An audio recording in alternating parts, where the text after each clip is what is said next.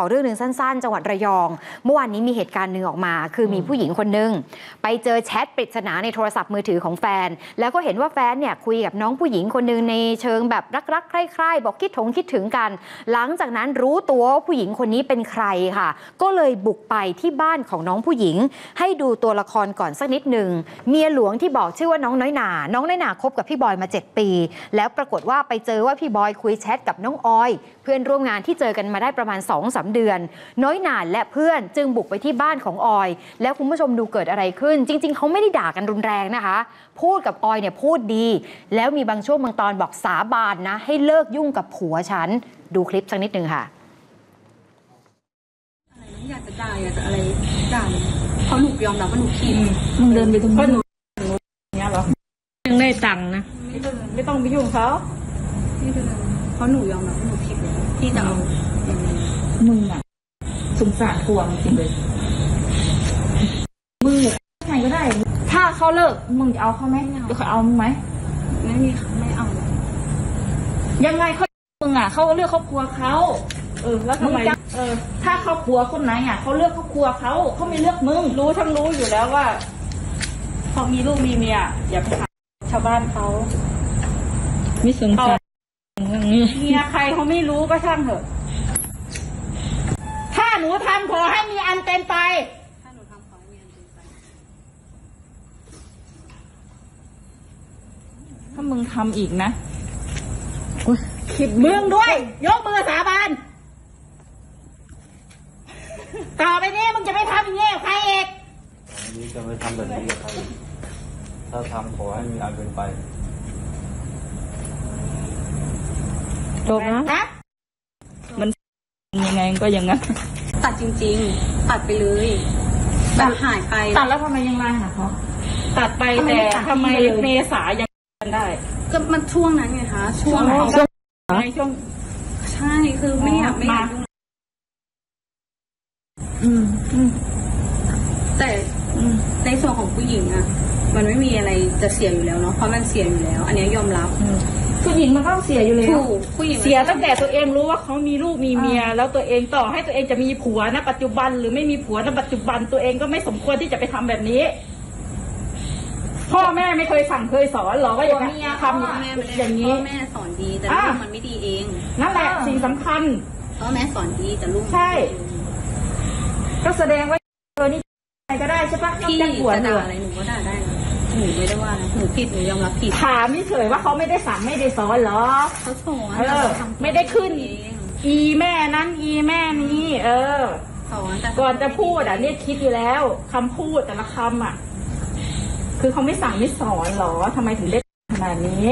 จิตใจเขาถ้าทำกับคนนี้ได้คนอื่นเขาก็ต้องทำเขาก็ต้องโยกใจผัวก่อนเขาหอยู่น้าดีนี้เขาทำมากี่คนแล้วก็ใช่ไม่รู้ใช่ไหม ไม่ก็คือไม่รู้พยักหน้าด้วยแสดงว่าไม่จริมีงใครอะรู้ผัวไม่ผัวก็อยู่บ้านกลับแค่มากำลังจะเฉยๆไงไม่มีใครรู้ดีเท่าเท่าก็ตัวเองนั่นแหละอืมอ่าไม่มีใครแต่ตัวเองก็ยังเลือกจะทำใช่ไหมคนอื่นเขาก็เริ่มรู้แล้วว่าบอกว่าไม่ยุ่งแล้วไงคะไม่ยุ่งคือยังไง ไม่คิดที่จะยุ่งก็ต่อจากนี้ไงถ้าเรื่องไม่เกิดตัวเองก็ยังจะคุยกันไม่ยุ่งหรือว่าคุยอะไรกันอยู่ ตัดจริงสีแดงเนี่ยฝั่งเมียหลวง และเมียหลวงมีเพื่อนไปไงก็เลยเหมือนช่วยกันพูดอะนะคะ ส่วนน้องออยสีน้ำเงินก็ก็ตอบแบบนิ่มๆก็จะเลิกกันอยู่แล้ว คือจริง ๆ น้อยหนาเนี่ยวันนี้เราไปเจอมาน้อยหนาบอกว่าจริง ๆ วันนั้นไม่ได้ตั้งใจจะไปหาเรื่อง แต่อยากจะไปถามเค้นความจริง ตัวพี่บอยก็เป็นคนพาน้อยหนาไปนี่แหละ ว่าเขาเลิกกันจริงๆไหมอยากจะให้เขาท้าสาบานกันเฉยๆว่า ขอให้ขาดกันเลย ตามคลิปที่ว่าเนี่ยน้อยหนาบอกว่า จริง ๆ พอไปถึงที่มันมีคลิปแบบนี้ปรากฏออกมา เนื่องจากว่าเขาอะอารมณ์แบบอารมณ์ขึ้นอะอืมหลังจากถามบอกว่า เนี่ยรู้หรือเปล่าว่าบอยเขามีลูกมีเมียอยู่แล้ว ปรากฏว่าออยตอบแบบหน้าตาเฉยบอกก็รู้อยู่แล้ว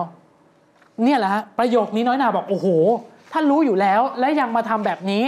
ทำไมถึงกล้าทำแบบนี้ทั้งๆที่เป็นลูกผู้หญิงด้วยกันอืมส่วนตัวก็เลยบอกมันก็เลยปรากฏตามคลิป แล้วก็เลยให้เขาสาบาน ปรากฏพอคลิปนี้ถูกเผยแพร่ออกไปออย คนที่บอกว่าเป็นสาวใหม่เนี่ยปรากฏไปแจ้งความเอาผิดทางน้อยหนาฮะว่าทำให้เขาเสื่อมเสียชื่อเสียงโอ้ตัวเองเลยบอกว่าเอ้าทั้งๆที่เขาเองสามีเนี่ยคุณบอยค่ะก็ไปมีอะไรกับตัวของคุณออยไปสนิทสนมแหกันมๆเดี๋ยวให้ดูหลักฐานสักนิดนึงเออคือเมียมันจะไม่ขึ้นได้ไง เอางี้คุณผู้ชมคะภรรยาน้อยหนาเนี่ยไปเจอแชทตัวนี้ พี่บอยคุยกับน้องออย เรียกแบบว่าที่รักคิดถึง กอดหน่อยเหนื่อยอ่านี่ไม่เท่าไหร่ตัดไปที่หน้าสุดท้ายค่ะผมว่าอันเนี้ยทำให้ตัวผู้หญิงที่เห็นปุ๊บ ผู้หญิงรู้สึกไม่ได้อ่านนอกจากฝ่ายบอยจะเสียเงิน 5,000 ด้านบนมีการเตือนความจำว่าให้ซื้อยาคุมกันนั่ด้นวยแหละค่ะเนี่ยแหละฮะที่น้อยหนาบอกทนไม่ไหว ฟังเสียงน้อยหนาฮะกับกับก็ก็จับได้ค่ะ จับได้จากในโทรศัพท์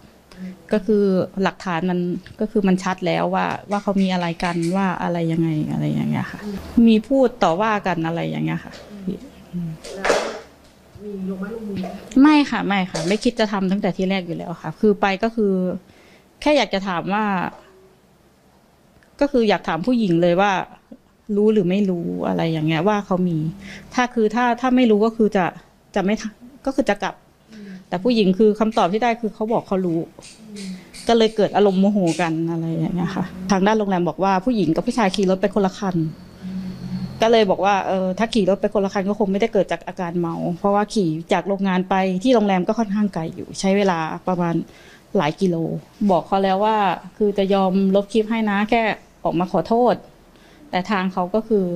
ยืนยันว่าจะฟ้อง แค่นั้นก็คือเออถ้ายืนยันว่าจะฟ้องก็ ก็บอกเขาแล้วว่า ก็งั้นก็จะขอปล่อยคลิปให้ถึงที่สุดเลยแล้วกันคือตอนแรกเนี่ยคุณน้อยหนาบอกว่าจะไม่เอาพี่บอยแล้วนะคะ ลูกเดี๋ยวเลี้ยงเอง ปรากฏว่าพี่บอยมาขอโทษ น้อยหนาขอคืนดี เพราะว่าเดี๋ยวจะช่วยกันเลี้ยงลูกดูแลลูกด้วยกันพี่บอยสัญญาว่าจะปกป้องครอบครัว หลังจากนี้จะไม่ยุ่งกับใครแล้ว คุณน้อยหนาบอกว่าอะให้โอกาสแต่ยังไม่เชื่อใจร้อยเปอร์เซ็นต์นะยังระแวงกันอยู่ ในขณะเดียวกันพี่บอยตัดขาดน้องออยเบอร์สองนะคะ ทางฝั่งของน้องออยบอกน้อยหนาคุณเอาคลิปไปลงแบบนี้เสียหายจะฟ้องหมิ่นประมาท คุณน้อยหนาก็เลยบอกว่า ถ้าเธอฟ้องฉันเดี๋ยวฉันฟ้องทนายเหมือนกัน ว่าเธอมายุ่งกับผัวฉันแบบนี้มีความผิดหรือเปล่า ฟังพี่บอยสักหน่อยคนกลาง พี่บอยก็บอกว่าก็เสียใจ ที่ผ่านมาก็ยอมรับสนิทกับน้องออยประมาณ2อสาเดือน แล้วพอเมียรู้ ผมก็จะขอเลิก พี่แกลาออกจากงานเลยนะฮะอ๋อ เหรอฮะชายยอมลาออกจากงานอ๋อเพื่อพิสูจน์ว่าจะตัดขาดกับน้องออย กลับมาอยู่กับน้อยหนาและอยู่กับลูก วันนี้พิสูจน์ฮะฟังเสียงหน่อยฮะเข้าเป็นบทเรียนใหญ่เลยแหละครับสำหรับผมนะ เพราะว่าก็ไม่เคยเจอแบบนี้มาก่อนอะไรอย่างงี้ก็ไม่เคยอยู่กันมาก็ไม่เคยทำหรอกครับ ก็เพิ่งมามาเป็นเขาก็คงโมโหของเขาแหละครับ ผู้หญิงอะก็คงโมโหแหละถ้าจับได้ ถ้าเป็นเราเราก็โมโหเหมือนกันแหละ นะครับ ก็ไม่เลิกครับ ก็ขออยู่ด้วยกันต่อ อะไรแบบนี้ วันนั้นเหรอ ไม่ได้พูดอะไรครับ ยืนฟังอย่างเดียว เพราะว่าไม่อยากพูดอะไรมาก เพราะว่าเราก็ไม่รู้ว่าถ้าเราพูดตอนนั้น เราจะไปโดนเข้าข้างใครบ้างอะไรเงี้ย ก็ไม่ติดต่อกันมา ผมก็ไม่ได้ติดต่อไป จนมาเห็นหนังสือว่าเขาไปฟ้องแฟนผมอะไรเงี้ย ก็เลยติดต่อเขาไปว่าจะเอายังไงหรอ ต้องการที่จะทำแบบนั้นจริง ๆ หรออะไรเงี้ยก็พยายามโทรไปไก่เกลี่ยแล้วครับ เพราะว่าแรก ๆเขาอาจเหมือนเหมือนจะยอมอะเหมือนจะยอมไก่เกลี่ยแล้วมาคุยกันดี ๆ อะไรแบบนี้ แต่พอเราโทรไปถามอีกครั้งหนึ่งเขาบอกว่าเขาก็เคลียร์กันได้นะคะ สามีภรรยาส่วนน้องออยยืนยันว่าเลิกแล้ว แต่ถ้ามีการฟ้องอะไรกันเนี่ยก็คืออีรุงตุงนังกันไปหมดแหมเรื่องแบบนี้หลายคนบอกจัดการพี่บอยก่อนไหมคนแรกเลย